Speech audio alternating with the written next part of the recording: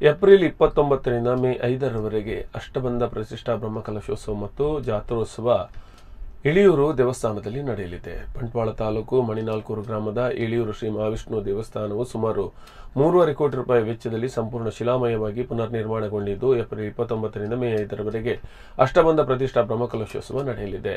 ಈ ಬಗ್ಗೆ ಮಾಜಿ ಸಚಿವ ಬ್ರಹ್ಮಕಲಶೋತ್ಸವ ಸಮಿತಿ ಅಧ್ಯಕ್ಷ ಬಿ ರಮಾನಾಥ್ ರೈ ಮಾಹಿತಿ ನೀಡಿದರು. ಅವರು ಮಂಗಳವಾರ ಬಿಸಿ ರೋಡ್ ಪ್ರೆಸ್ ಕ್ಲಬ್ನಲ್ಲಿ ನಡೆದ ಪತ್ರಿಕಾಗೋಷ್ಠಿಯಲ್ಲಿ ವಿವರಣೆ ನೀಡಿದರು. ಶ್ರೀ ಕ್ಷೇತ್ರ ಧರ್ಮಸ್ಥಳ ಧರ್ಮಾಧಿಕಾರಿ ಡಾಕ್ಟರ್ ಡಿ ವೀರೇಂದ್ರ ಹೆಗ್ಡೆ ಅವರ ಶುಭಾಶೀರ್ವಾದದೊಂದಿಗೆ ಕ್ಷೇತ್ರ ತಂತ್ರಿ ವೇದಮೂರ್ತಿ ನೀಲೇಶ್ವರ ಉಚ್ಚಿಲತ್ತಾಯ ಪದ್ಮನಾಭ ತಂತ್ರಿಗಳ ಮಾರ್ಗದರ್ಶನದಲ್ಲಿ ವಿವಿಧ ವೈದಿಕ ಧಾರ್ಮಿಕ ಸಾಂಸ್ಕೃತಿಕ ಕಾರ್ಯಕ್ರಮಗಳೊಂದಿಗೆ ಬ್ರಹ್ಮಕಲಶೋತ್ಸವ ಸಂಪನ್ನಗೊಳ್ಳಲಿದೆ ಎಂದು ಹೇಳಿದರು.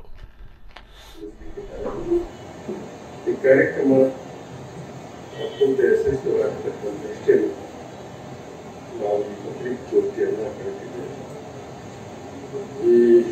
ಕೆಲಸವನ್ನ ಇವತ್ತು ಸಂಬಂಧಪಟ್ಟ ಎಲ್ಲ ಪ್ರಮುಖರು ಬಹಳ ಅಚ್ಚುಕಟ್ಟಾಗಿ ಕಾರ್ಯಕ್ರಮ ನಡೆಸಬೇಕು ಅಂತ ಹೇಳಿ ಪ್ರತಿಯೊಂದು ಮನೆಗಳಿಗೂ ಭೇಟಿ ನೀಡಿ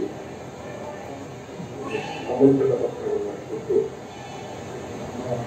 ಅವಾದ ಪತ್ರಿಕೆಯನ್ನು ನೀಡಿದ್ದಾರೆ ಈ ಕಾರ್ಯಕ್ರಮ ಯಶಸ್ವಿ ಅದು ನಮ್ಮ ಬಹಳ ಅಗತ್ಯ ಇದೆ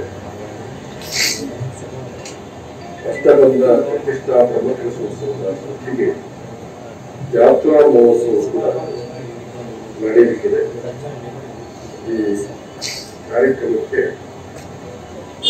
ಸಮಾಜದ ಎಲ್ಲ ನಾಗರಿಕರು ಬಂದು, ಆಸ್ತಿಕ ಬಂಧುಗಳು ಬಂದು